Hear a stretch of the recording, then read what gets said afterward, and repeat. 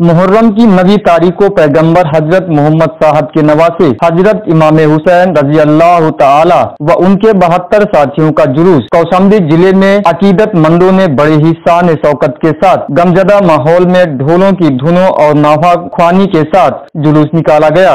वहीं लोगों ने अखाड़े में बड़े ही हैरत अंगेज तरीके के साथ अपने अपने करतब भी दिखाए। चारों तरफ़ या हुसैन या हुसैन की सदाएँ गूंज उठी। Bureau report, Kaushambi.